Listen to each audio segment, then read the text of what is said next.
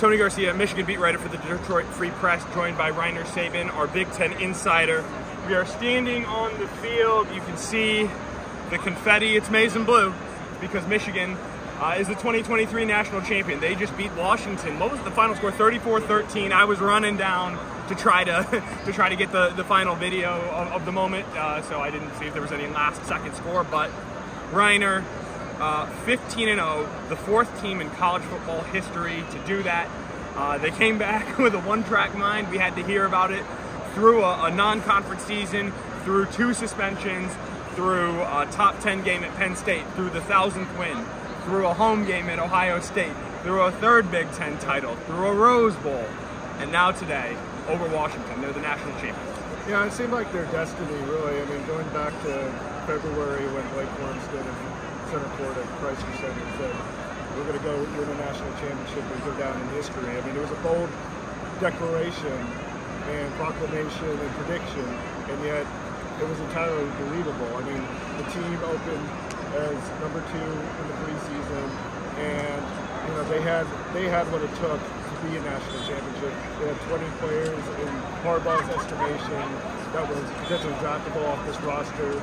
Uh, come next, uh, actually come later this year, and so it's uh, it, it's a team that really was kind of built for this moment, and to see it finally come to pass was pretty, you know, incredible in some ways just because of where the Mich- where Michigan was only three years ago. I mean, or four years ago when we were in that dark of winter uh, following that 2020 season, two and four, and a lot of people, a lot of questions about Harbaugh's future.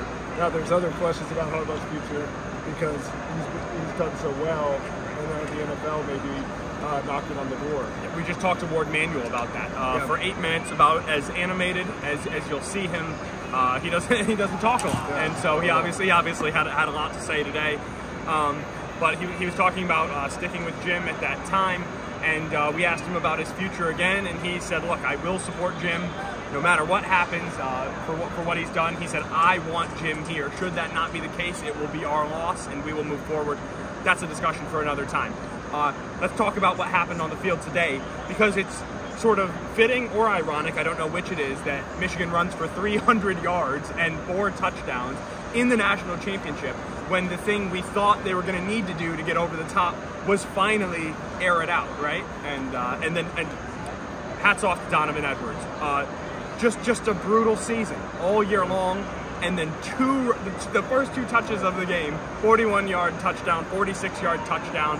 Uh, it's, it's what legends are made of. Well, and styles make fights, and in this case, you know, Michigan running the ball against Washington was the, the recipe of success, uh, and you know, kept Michael Penix at bay, um, who actually didn't play all that well, No, uh, considering considering uh, his track record, his sensational track record. Uh, but Michigan, you know, hammered them at the line of scrimmage, kind of established the run early, was able to go back to it late, and kind of finish off the Huskies that way. And it was, uh, you know, again, the, the, the players that brought them there were the ones who were, sta- you know, standing and leading them at the end. Blake Corum, Mike Sainristil.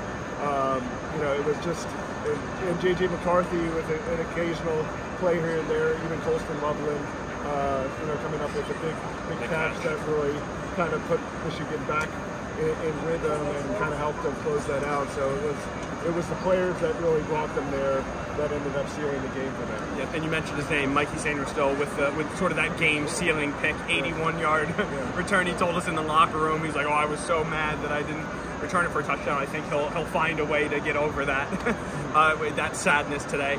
Uh, but of course, Will Johnson with the pick, Mikey Sainristil with the pick. Uh, Kenneth Grant with a sack, just a bull rush to blow up a- an entire series, right? You said it. The stars were stars. Michigan's got a lot of great players. They have a tremendous staff. They have belief. Uh, that's what national. That's what.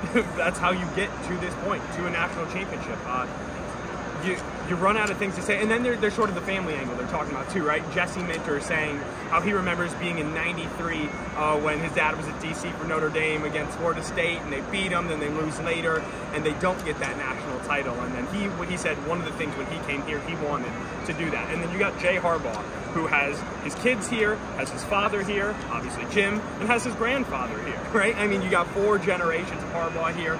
It was a family affair uh, today.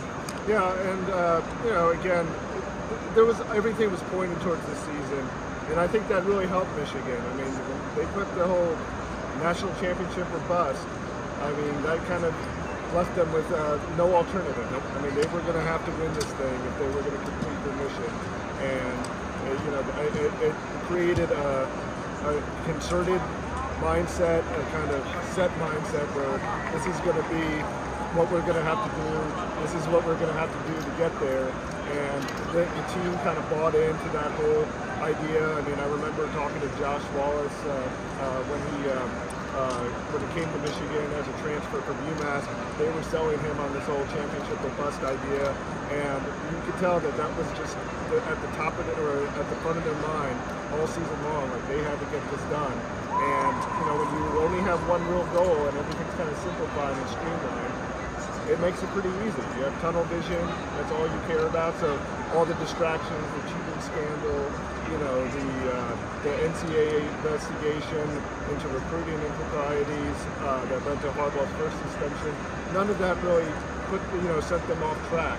I mean, they were committed to this mission from the get-go, and they completed it despite all this uh, turmoil around them. About 30 minutes ago, about 30 yards that way, Semaj Morgan said exactly that to me. I was trying to wrap my mind around how they were unaffected by all this. He said, look, if you're not in Shem, what you say doesn't matter, like period, point, point blank.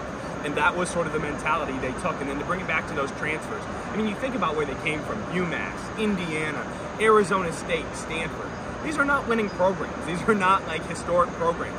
And I asked a lot, a lot of them, Drake Nugent, LaDarius Henderson. I mean, like, how much self-belief do you have to have in order to transfer to Michigan and think you can make it at that level, and then be the ones to put it over the top? And uh, they are a lot of people speechless, right? like, it's kind of hard to get. Great, I mean, you get some great quotes after the moment, but you get a lot of like, I don't know what just happened. And don't worry, there's plenty of time to process what just happened.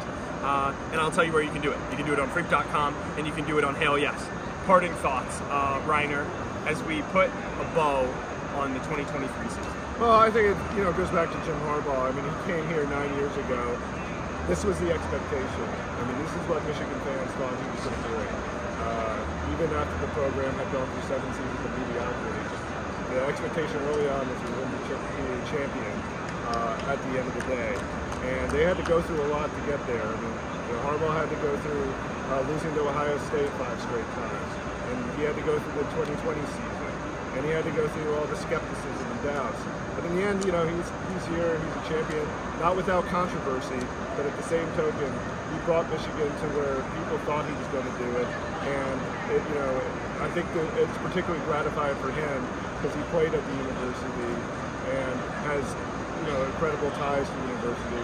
As he said, he's a Michigan man, and will you know go down in history as a Michigan as the ultimate Michigan man for delivering this national championship. Yep, something that uh, that Bo Schembechler never did, right? And uh, it's hard. It's hard.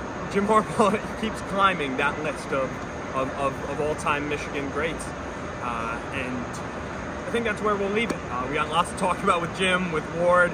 The future's uncertain. We were told temporarily parade Saturday in Ann Arbor. More details to come. Still unsure, but uh, we'll be there, and uh, hope you will be too. Uh, so for Rainer, I'm Tony. Congratulations to all you Michigan fans. 34-13 over Washington, the 2023 national champions. Talk to you soon.